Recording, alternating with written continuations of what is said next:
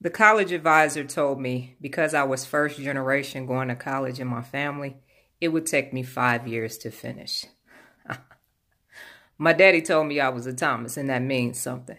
So I graduated in four with honors. It ain't where you from, baby. It's where you going. Okay? Hmm. So you'd rather just keep rinsing and repeating than end the cycle?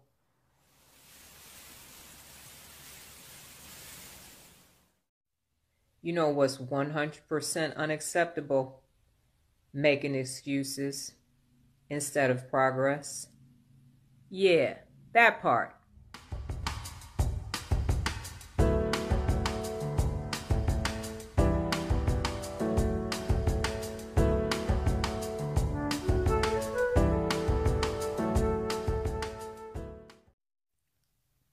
This is what regret looks like. Coulda, shoulda, woulda, and didn't. Hey there, ladies and gentlemen, it's me, Dr. Donna. Today's turnaround bit when your skills are limited, your life is limited.